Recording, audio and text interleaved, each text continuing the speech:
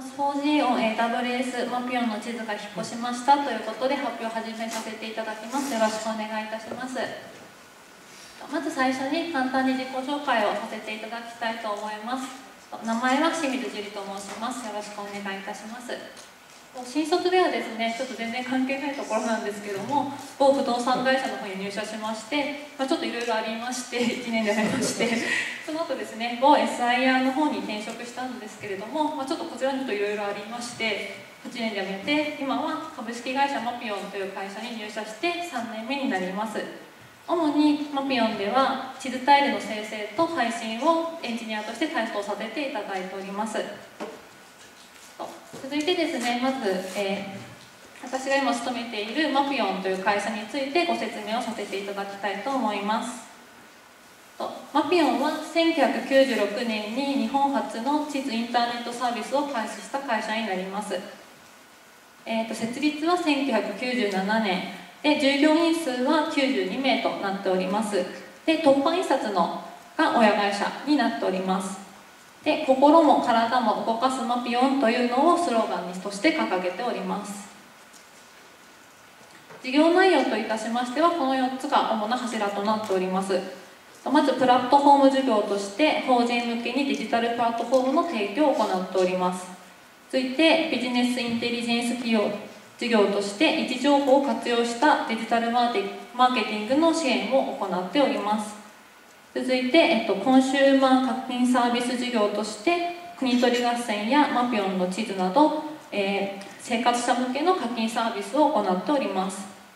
続いて、えっと、メディア事業といたしましてマピオン地図などのメディアの運営やコンテンツの配信広告の配信などを行っております。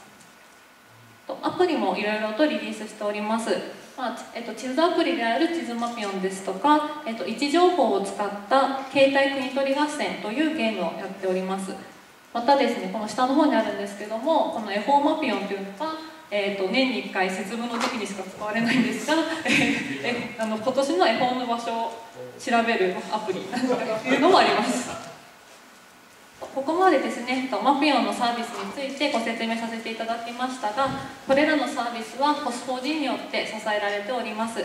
ここからは、えっと、マピオンがどのように POS4G を活用しているのかというところをご説明させていただきます。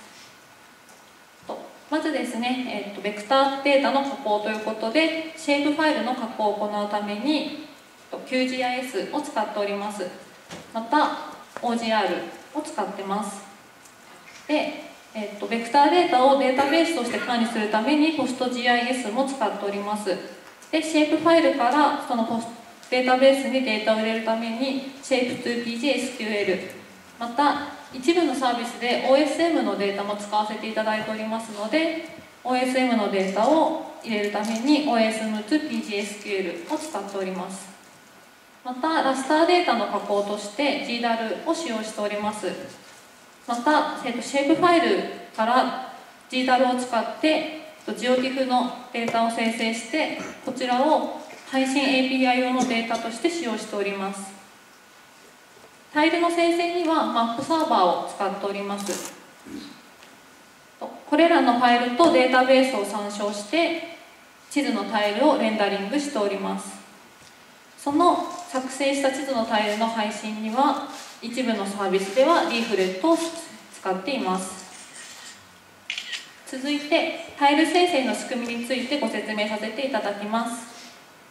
タイル生成では、えっと、シェイプファイル、GeoTIFF、アイコンなどのピンクファイル、フォントデータと、えっと、PostGIS のデータベースを参照してマップサーバーでレンダリングを行ってタイル画像を生成しております。こちらのタイル画像はえっと、約6億7000万。容量でいうと 500GB になります。続いて地図配信の仕組みについてです。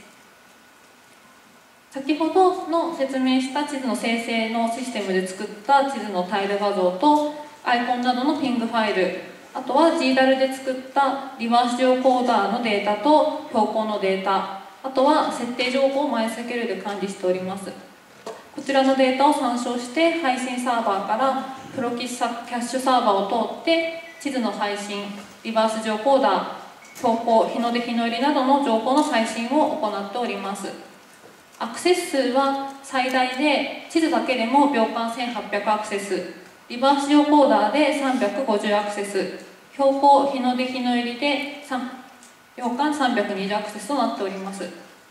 こちらのですねリバーシオコーダーや標高日の出日の入りのデータはどういうところで使われているかと言いますとえっと、マピオンの地図サイトでですね地図のところで右クリックしますと、まあ、こういった吹き出しが出てくるんですけれどもこちらでリバーシ上コーダーから取得した住所標高のデータこの日の日の出日の入りの時間などが分かるようになっています。続いて地図の更新についてご説明させていただきます。まず1つ目の更新が全国全国の更新です。タイルを作る際の元データの一つであるシェイプファイルを年に3回新しいデータに更新しています。そのために、6億7000万ある地図データの地図タイルの全ての再作成を行っております。続いて2つ目の更新として日時更新があります。こちらは新宿南口の同じ場所の地図なんですけれどもこの部分ですね、えーと、ニューマンという新しい施設ができたできています。このように中金に追加や変更削除があった場合は日時の更日時バッジで毎日更新を行っています。もう一つの更新が道路の開通です。こちらも同じ場所の地図なんですけれども左側はですね、えっと、まだ道路が開通してない状態ですので道路がグレーの線で表されています。この道路が開通になった場合はこの右側のように青い実線の道路に更新するという作業を行っています。この際は QGIS を利用してシェイプファイルとデータベースの更新を行っております。ここまでマピオンの地図システムについて発表させていただきましたがこの地図システムは今年の5月に大規模なお引越しを行いました。マピオンもともとマピオンの地図システムには課題がありました。1つ目の課題が全域のタイル生成が100日以上かかっていて鮮度の高い地図を提供することができていないという点です。で2つ目がストレージの容量や i ノードの制限があって新しい地図デザインを増やせないという課題です。これらの課題をクラウド化することで解決しようということになりました。こ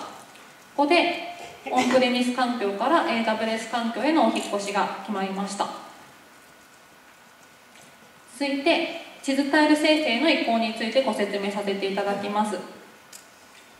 えーと、移行前の構成はこのようになっておりました、えーと、このように全てのタイル生成を同じサーバー3台で行っていました。こちらが移行後の構成になります。部分的にタイルを作る日時的更新と全域のタイルを作る、えっと、電気生成用でタイルのサーバーをとデータベースを分けています。で日時更新の方はサーバーの台数も2台で、えー、電気生成のところはスペックのいいものを20台使っています。でこの全域生成用のデータベースとサーバーは大規模更新時のみ起動するというようにしています。続いて地図配信の移行についてです。移行前の構成はこのようになっております。でこちらが移行後の構成です。配信に関しては大きな変更はないのですが、えー、こちらのファイルサーバーの GeoTIFF ファイルをサービスで参照してしまうとサーバーが落ちた時にサービスがに影響が出てしまうためこちらのファイルは配信サーバーのローカルにコピーして使うというような構成にしました。また今まではキャッシュを保持するためにキャッシュサーバーを立てていましたが AWS のクラウドフロントという機能でキャッシュを保持するように変更しております。続いて AWS にお引越しをしてよかったことをご説明させていただきます、えー今回ですねタイルの全域生成の時のみ高スペックのサーバーを20台稼働させることで生成スピードをアップさせることができました、えー、移行前は全域の生成に約100日2ヶ月半かかっていましたが移行後は約10日で全域の生成ができるようになりました。このことでより鮮度の高い地図が提供可能になりました。またタイルの置き場を S3 という AWS のオブジェクトステージにしたことで地図のタイルタイル数や容量 i モードの制限がなくなりました。このことで新しい地図デザインが増やせるようになりました。またコスパもいいためストレージの料金も1000分の1以下に大幅に削減することができました。その他にも良いことがいろいろありました。1つ目がですね RDS という AWS の機能を使うことでデータベースを自分たちで冗長化させる必要がなくなりまして管理がとても楽になりました。2つ目がサーバーの複製も簡単にできるようになりました。またですね地図配信の SSL 化も AWS の設定のみで簡単に行うことができるようになりました。えーと、良かったことばかりではなくですね辛かったこともあったのでちょっと AWS にお引越しをして辛かったことをお話しさせていただきます。とまずはですねネットワークの壁ということで EC2 間のネットワークの壁にぶつかりました。シェイプファイルなどの元データをファイルサーバーに配置してマウントする仕組みにしていたんですけれども EC2 間のネットワークの壁ともにぶつかってパフォーマンスが3分の1程度になってしまうという事象がありました。こちらの図で言うとこの部分に壁がありました。で日時更新に関してはたくさんのタイルを作るわけではないので、まあ、特に問題なかったんですけれどもその大規模更新の際にはこの構成ですとパフォーマンスが出ないためこちらのシェイプファイルなどの元データを生成サーバーのローカルにコピーすることでこの問題を解決することができました。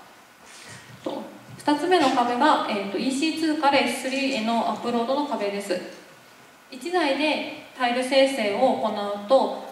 秒間50リクエストほど処理できていたのに20台で処理を実行しようとするとパフォーマンスが激減してしまうという、えーと、事象が起きました。こちらに関してはネットワーク環境の見直しと S3 のリクエストの制限緩和を AWS に依頼することでなんとか解決することができました。3つ目がですねとキャッシュの管理についてです。今まではキャッシュサーバーを置いてたんですけれども今後は、えーと、移行後はキャッシュサーバーを置かずにクラウドフロントにキャッシュを保持させるようにしたんですけれどもこのことでキャッシュのコントロールが難しくなりました、え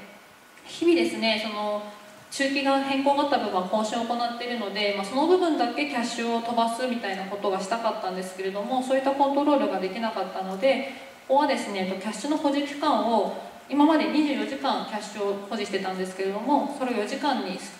えーと、短くすることでこの問題を解決しました。続いてまとめです。こちらが、えーと、移行後の生成と配信の構成図になります。えっ、と日時更新と全期生成用でサーバーを分けてそれぞれ S3 にタイルをアップロードしています。そこで生成されたタイルを配信サーバーがクラウドフロントを経由して地図などを配信するという構成になっております。AWS に移行したことでタイルの生成スピードとストレージの容量という課題を解決することができました。AWS ならではの主にネットワークなどの課題も多々ありましたがここはサーバーの構成をなどを見直すことで解決することができました。また AWS 環境でも HOS4G を問題なく動かすことができました。これからもマピオンは HOS4G の力を借りて新しい地図タイルの開発に挑戦していきたいと思っています。以上です。ありがとうございました、ありがとうございます。えー、何か質問がございましたら、えー、どうぞ。手を挙げてはい、じゃあ今マイクあの一つだけ質問だったんですけども、えっと、お引越し後の構成で配信サーバーのところにファイルサーバーになった情報を全部コピーしているような図があったような気がしたんですけどもそれで多分配信サーバーって何台か、まあ、1台じゃなくて何台かあるように想像してるんですけども、はい、そこに対して多分500ギガとかあるファイルを全部いちいちコピーしているようなイメージになっているえっと、あ500ギガあるといったのはこの上の F3 のところにあるあの地図タイルになってましてあの、えっと、リバース情報ーの元データですとか標高の元データに関しては GeoTIFF になってるんですけどもこちらについては各サーバーに、えっと、10ギガちょっとすみませんちょっと正確な数字と分かんないですけどそんな500ギガもないんですけどもそちらを全てコピーするっていうような形の構成になってます。わかりました。ありがとうございます。すごくいっぱいコピーいちいちしてるのかなすごいな他にはございますか？えー、ないようですねはいではあの牧野俊さんどうもありがとうございました。